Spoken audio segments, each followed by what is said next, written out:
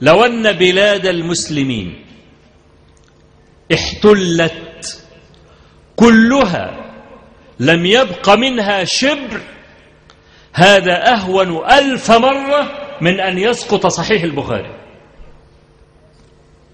ليس البخاري هو ديننا. ونحن نعيد ونؤكد ونكرر أنه لا يمكن أن تؤمن بما جاء في القرآن وأن تؤمن في نفس الوقت بما يخالف القرآن. لأن العقيدة لا, تقتس لا, لا تقسم على اثنين. إما أن تؤمن بما جاء في القرآن الكريم وتكفر بما جاء في البخاري وإما أن تؤمن بما جاء في البخاري وأن تكفر بالقرآن الكريم.